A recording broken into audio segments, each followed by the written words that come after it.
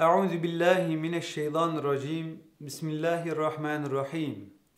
إن المسلمين والمسلمات والمؤمنين والمؤمنات والقانتين والقانتات والصادقين والصادقات والصادقين والصادقات والصابرين والصابرات والخاشعين والخاشعات والمتصدقين والمتصدقات vel haşi'ine vel mutasaddikati ve saimine ve saimati vel hafizine furucehum vel hafizati ve zâkirine Allah ve zâkirine Allah'a kethiren ve zâkirati e'addallahu lehum mağfireten ve ecran azîmen.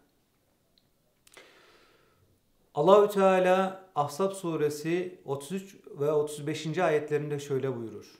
Şüphesiz Müslüman erkeklerle Müslüman kadınlar, mümin erkeklerle mümin kadınlar, itaatkar erkeklerle itaatkar kadınlar, doğru erkeklerle doğru kadınlar, sabreden erkeklerle sabreden kadınlar, Allah'a derinden saygı duyan erkekler, Allah'a derinden saygı duyan kadınlar, sadaka veren erkeklerle sadaka veren kadınlar, oruç tutan erkeklerle oruç tutan kadınlar, namuslarını koruyan erkeklerle namuslarını koruyan kadınlar, Allah'ı çok canan erkeklerle çok canan kadınlar var ya, işte onlar için Allah bağışlanma ve büyük bir mükafat hazırlamıştır. An Aişete galet gale Resulullah İnnemen nisa'u şegaigur ricali Hazreti Ayşe'nin radıyallahu anh'ın naklettiğine göre Resulullah sallallahu aleyhi ve sellem şöyle buyurmuştur. Kadınlar erkeklerle birlikte bir bütünü tamamlayan diğer yarıdır. İslam dininin kadınlara verdiği değer nasıldır? Kadın iyi bir anne, iyi bir eş, iyi bir arkadaş, merhamet timsali, şefkat abidesi ve hepsinden önemlisi Allah'ın en güzel bir şekilde yarattığı güzel, zarif, nazik bir kul ve insandır. Cennet annelerin ayakları altındadır diyen dinimiz, kadına hak etmiş olduğu en büyük değeri vermiş. Adeta cenneti annelerin ayakları altına getirmiştir. İslamiyet'in ilk şehidi Hazreti Sümeyye bir kadındır. İlk Müslüman Hazreti Hatice bir kadındır. Peygamber Efendimiz sallallahu aleyhi ve sellem veda haccı için Mekke'ye doğru yola çıkmıştı. Kafile içerisinde hanımlar da vardı.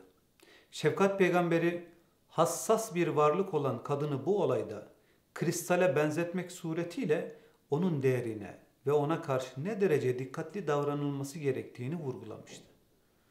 İslam dininde kadınların biyolojik yapılarının farklılığının gözetilmesi hususunda hükümler getirdiği gibi onun ruh yapısının da farklı yaratıldığına işaret ederek onlara karşı hassas davranmamız istenmektedir. Nitekim bir hadislerinde Hazreti Peygamber sallallahu aleyhi ve sellem Efendimiz şöyle buyurmaktadır. Kadınlara iyi davranmanızı tavsiye ediyorum. Vasiyetimi tutunuz. Zira kadın kısmı kaburga kemiği gibidir. Onu doğrultmaya kalkarsan kırarsın. Eğer ondan faydalanmak istersen bu haliyle de faydalanabilirsin. Sevgili Peygamberimiz bu hadisleriyle kadınlarla nasıl geçinmemiz gerektiğini anlatmıştır. Dayakla veya ona hakaret etmekle kadını kişinin kendi istediği şekle sokamayacağının mümkün olmadığını belirtmiştir. Ayrıca hiddet ve şiddet yerine ülfet ve şefkat yolunu tutmayı tavsiye etmiştir. Kadına ancak bu yolla yaklaşmanın ve ona tesir etmenin mümkün olabileceğini ifade etmiştir. Zaten insanlarla beraber yaşayabilmenin yolu onlarla olan davranışlarımızda merhametli olmaktan ve şiddete başvurmamaktan geçmektedir. Aile yuvasının huzuru, ailedeki fertlerin saadeti ise erkek ve kadın arasındaki muhabbete, sevgiye ve insanca davranışlara dayanmaktadır.